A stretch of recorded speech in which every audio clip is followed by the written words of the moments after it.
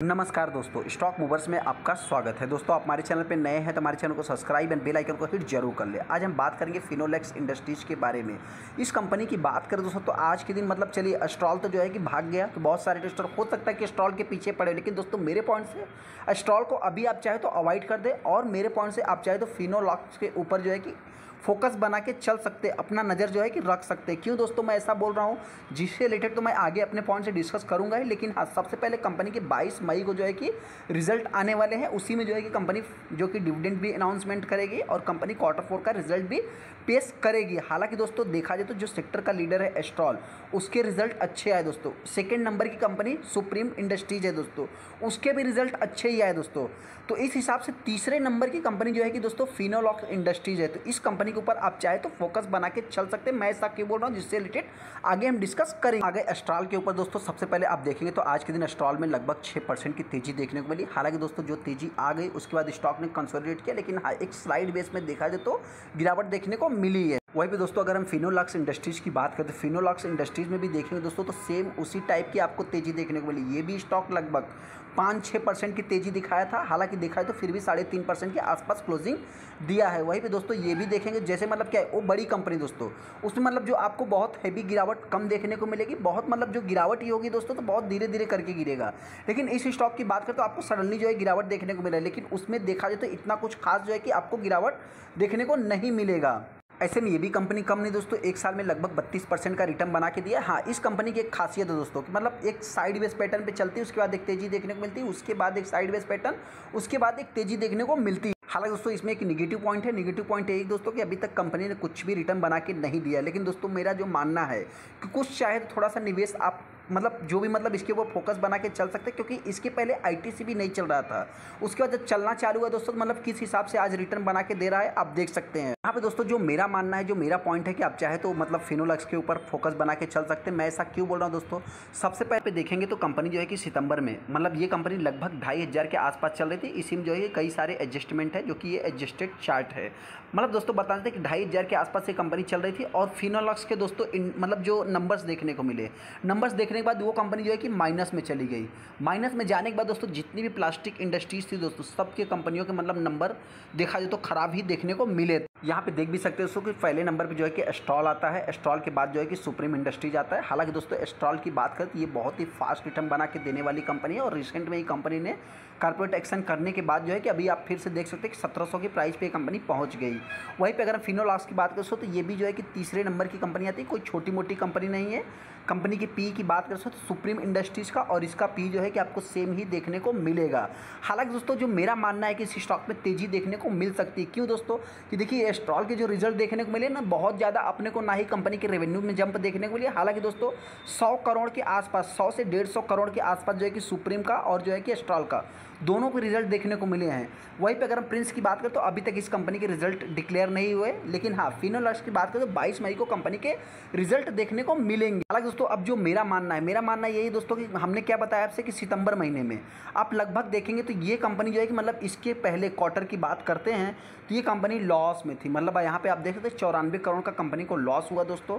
और अगर हम क्वार्टर की बात करें तो यहाँ पे सितंबर में जो है कंपनी के रिज़ल्ट देखने को मिलते हैं।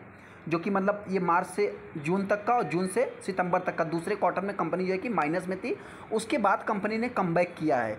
इस पॉइंट को भी नोट करके चल सकते हैं। हालाँकि दोस्तों, अभी तक मतलब कंपनी का कुछ इतना खास परफॉर्मेंस नहीं है। ये थोड़ा सा स्लो रिटर्न के मामले में आप इसको कह सकते वहीं पे अगर हम कंपनी की बात करें दोस्तों तो कंपनी का बहुत ज़्यादा सेल्स ग्रोथ देखने को नहीं मिलता। हालाँकि कंपनी में बहुत ज़्यादा जो है कि बड़े बड़े दिग्गज कंपटीटर भी है।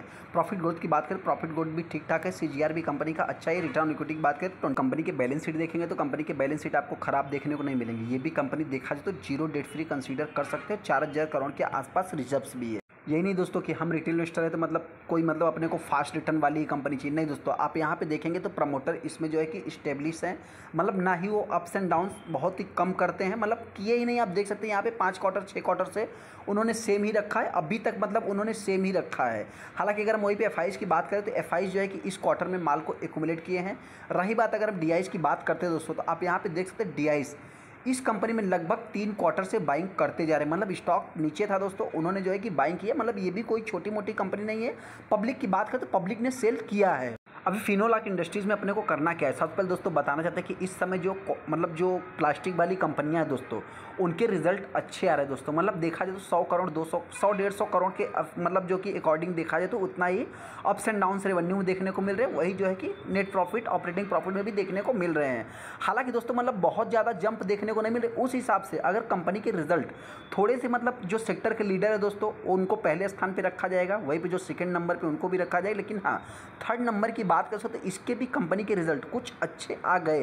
तो मेरे पॉइंट से दोस्तों, ये कंपनी एक नया हाई भी लगा सकती है। इस कंपनी की अगर हम हाई की बात करते तो इस कंपनी का जो हाई है दोस्तों, लगभग देखा जाए दो सौ के आसपास इस कंपनी का हाई है। चौदह अक्टूबर दो इक्कीस के आसपास कंपनी ने दो ढाई सौ के आसपास आप कर सकते हैं। कंपनी ने हाई लगाया वहीं पे नहीं दोस्तों, अगर कंपनी में हम डिलीवरी परसेंटेज की बात करेंगे वैल्यूम की बात करेंगे तो यहाँ पे देख सकते हैं दोस्तों मतलब जो कंपनी का हाई लो देखेंगे तो मतलब बहुत ही कम आपको देखने को मिलेगा। हालाँकि ये कंपनी अभी देखा जाए तो मतलब एक रुपए के आसपास चल रही है। हाई की बात करें तो एक सौ पंचानवे के आसपास कंपनी गई थी। यहाँ पे अगर हम डिलीवरी परसेंटेज की बात करें वैल्यूम की बात करें तो इस स्टॉक में एक अच्छा खासा वैल्यूम भी बनता है। मतलब तेज़ी के जो है कि संकेत भी हैं दोस्तों, चालीस परसेंट, इकतालीस परसेंट माल भी डिलीवरी में उठाया गया है। यहाँ पे देख भी सकते हैं कि आप जो है कि मतलब 22 मई को जो है कंपनी जो है कि बोर्ड मीटिंग से रिलेटेड, फाइनेंशियल रिज़ल्ट से रिलेटेड जो है कि डिस्कस करेगी और कंपनी जो है कि डिविडेंड से रिलेटेड भी रिकमेंडेशन कर सकती है। अभी इस स्टॉक में अपने को करना क्या है? सबसे पहले दोस्तों बताना चाहते देखिए जिनके पास पुरानी होल्डिंग्स है, जिनको अभी मतलब समझ लीजिए कि लॉस है दोस्तों, मेरे पॉइंट से आप चाहे तो होल्ड करके चल सकते हैं, कंपनी एकदम बेस्ट है दोस्तों। हाँ मैं इतना ही कहूँगा दोस्तों कि प्रिंस पाइप के अकॉर्डिंग, एस्ट्रॉल के अकॉर्डिंग जो है कि रिटर्न बना के नहीं देगी, लेकिन हाँ ये कंपनी जो है कि आपका पैसा भी बहुत ज़्यादा डूबने नहीं देगी। मतलब अगर आप इसके मैक्सिमम चार्ट पैटर्न भी देखेंगे ना दोस्तों मतलब वैलेटाइल तो आपको देखने को मिलेगा। इस कंपनी जो है कि वैलेटाइल तो है। मतलब देखिए, जितनी छोटी कंपनी उतना रिस्क और जितनी छोटी कंपनी दोस्तों, उतना ही पेशेंस भी लेके चलना होता है। तो ऐसे में जिनके पास भी है तो लॉस में तो मेरे पॉइंट से आप सेल मत करें। लेकिन हाँ एक इंपॉर्टेंट पॉइंट दोस्तों, इस कंपनी के ऊपर भी आप चाहे तो फोकस बना के चल सकते हैं। ऐसा नहीं कि हमको जो है कि स्ट्रॉल ही खरीदना है। हालाँकि अपनी जो मतलब ये कंपनी क्या होती है दोस्तों, आज स्ट्रॉल के जो है कि नंबर ख़राब आ गए।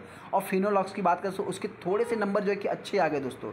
तो देखा जाए तो उस हिसाब से मतलब स्ट्रॉल से पैसा निकल करके कुछ हो सकता है कि फिनोलॉक्स में भी शिफ्ट होते हुए दिख सकता है। इस हिसाब से अपने पोर्टफोलियो को जो है कि डाइवर्सिफाइड करके रखना होता है। वहीं पर अगर इस कंपनी में गिरावट होती है दोस्तों तो स्टॉक हो सकता है कि मेरे पॉइंट से 150 से 140 के बीच में जो है कि ट्रेड कर सकता है। अगर कंपनी के रिज़ल्ट खराब आते हैं तो अगर हायर साइड की बात करो तो ये स्टॉक में अगर रिज़ल्ट अच्छे आते हैं तो ये स्टॉक 220 से 250 के लेवल को भी टच कर सकता है, जिसमें हो सकता है कि थोड़े से टाइम भी लग सकते हैं। चलिए दोस्तों, वीडियो अच्छा लगा वीडियो को लाइक कर दे चैनल सब्सक्राइब कर ले। थैंक यू दोस्तों।